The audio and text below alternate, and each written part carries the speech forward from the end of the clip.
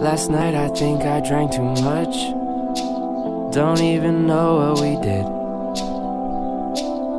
Lately I've been feeling out of touch. Don't even know where I've been.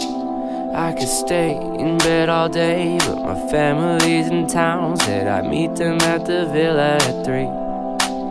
I put Visine in my eyes, I showered just in time, but I can't help this feeling.